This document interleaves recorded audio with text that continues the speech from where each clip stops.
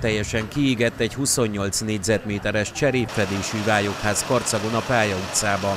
Kigyulladt egy 30 négyzetméter alapterületű lakóház, három helysége, illetve tetőszerkezete Karcagon a Pálya utcában.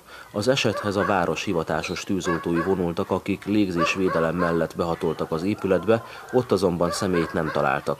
Egy hőhatást ért gázpalackot viszont igen, ezt kihozták és visszahűtötték. Az egységek emellett két vízsugárral megfékezték a lángokat. Az épület lakhatatlanná vált, födém szerkezete több helyen is beszakadt. Lakóját rokonok fogadták be. A tűz keletkezése idején senki nem tartózkodott az épületben, amelynek födém szerkezete több helyen beszakadt.